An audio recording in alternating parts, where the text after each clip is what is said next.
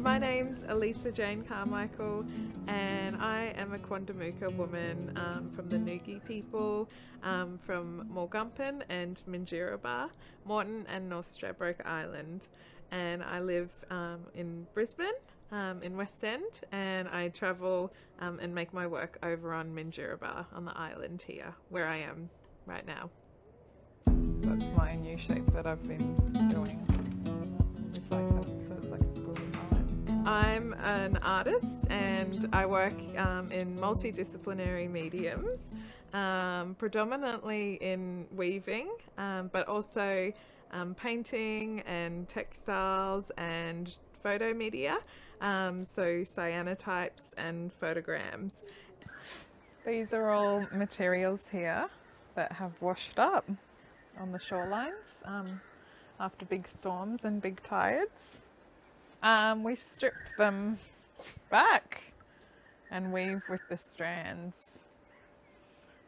So sometimes we weave with sections like like this, or we leave them whole in their in their raw form too.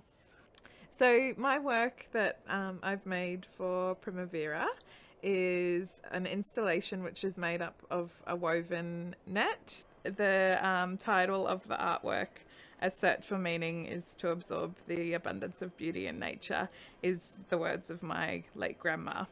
And it's looking at the spirit of our country and how the spirit of our ancestors um, is in the air, the sky, the sand, the waters and the land and the trees and the whole environment that surrounds us on country.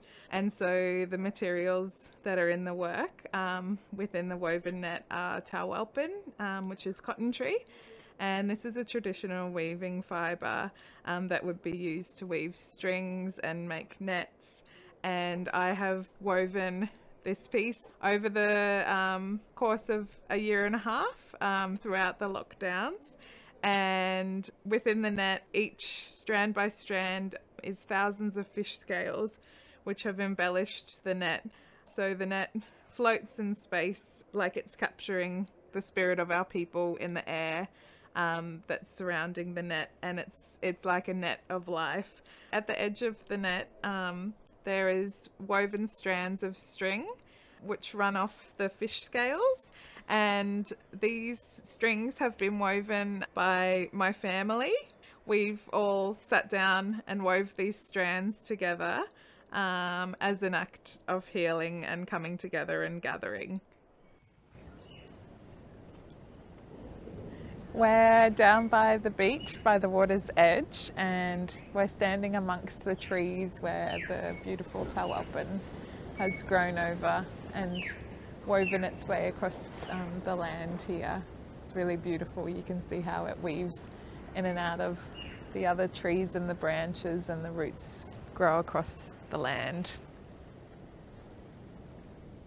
It's a bit of a process to um, work with the talwalpin. So um, it involves um, gathering the material. So um, the strands that I've woven with are actually the inner bark fiber um, of, of the plant. So um, the process involves um, gathering the branches and then stripping back the outer fiber and then peeling away the inner bark.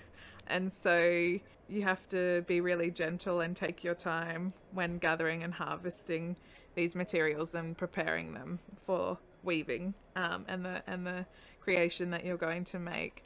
Um, and also talking about the abundance of country and our relationship with the salt waters um, and how the water provides for us and takes care of us. And um, as saltwater people fish are a very important food source for us and we would only take what we needed. And I think the fish scales are a really amazing representation um, of us as saltwater people as well. They're very um, fragile, but they're very strong. I've stitched them onto this net one by one as as an act of healing and deep thinking um, while making the work. And then underneath um, the net, there is a cyanotype, which is the shadow of the net. And this um, cyanotype is about um, capturing the story of the net in its own form. So it's really beautiful working with the process of cyanotype because um, the the material that you place on the cyanotype has its own voice and tells its own story, and it only shows which parts that it wants to share.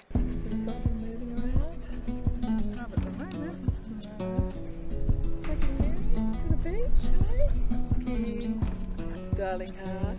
I was really excited when Hannah Presley um, invited me to be a part of Primavera before we went into lockdown, and you know we had no idea what was what was coming then.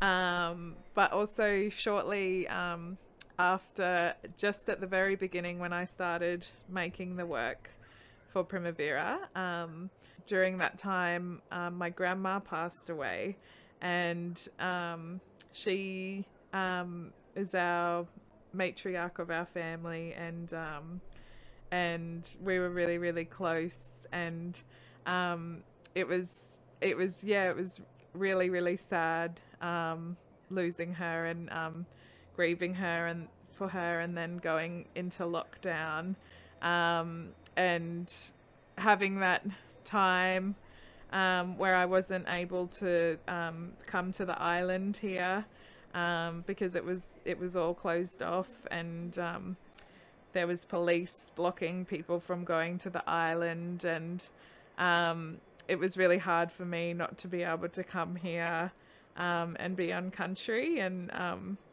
and using these materials and working with them. they're so so strong. The Talwalpin is it's you know it could tie anything and hold anything um, and the strength of that material um, is another representation of the strength of our culture and our people um, and our, our land that we live on today.